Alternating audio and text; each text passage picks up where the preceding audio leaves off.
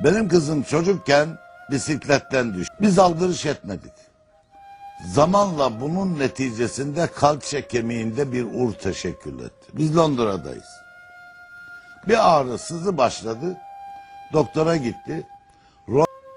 Röntgenle baktılar kemikte bir ur var. Bunun mütehassısı olan bir profesör dedi ki falan gün gel parça alacağız, tahlil edeceğiz. Habisse seni ameliyat edeceğiz. O uru kazıyacağız. Kızım habis kelimesini duyunca kork. O sırada da Şeyh Efendi'ye ben gidiyordum ama evde bir şey demiyordum. Kızım dedi ki beni Şeyh Efendi'ye götürür müsün? Peki kızım dedi. Duymuş o da tabii. Aynı cuma namazına Şeyh Nazım Camii var Londra'da. Kuzey kesiminde. Bir havra satın aldılar onu cami yaptılar. Havra'nın kahvesi vardır. Rothschild meşhur Rothschild emeline atmış. Havra'da cuma kıldıktan sonra çıkarken dedim ki şey efendi kızım elini öpsün. Bu el.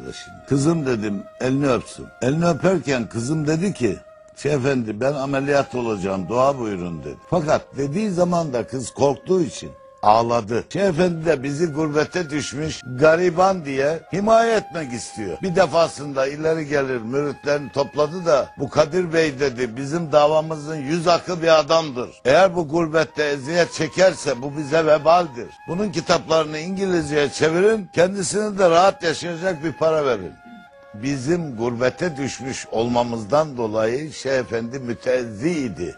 İstiyordu ki bizim maişetimize bir faydası olsun. Kızımın gözyaşlarını görünce kızım ben sana yardım edeceğim dedi. Ben bu sahneye şahidim. Akşam eve geldik. Gece yarısı benim kız bir feryat ile uyandı. Koştuk odasına. Ne oldu? Dedi ki Şeyh Efendi rüyama girdi. Bacağımı öyle çekti ki hala ağrıyor dedi. Ve subhanallah inşallah bir yardım olacak. Birkaç gün sonra doktora gitti. Doktor röntgenle bir daha baktı. Kızım sen kime ameliyat oldun? Hiç kimse. Gidişine ben 40 senedir bu işi yapıyorum. Bu uğur kaybolmuş. Biz bunu yaşadık beyler. Bu uğur kaybolmuş.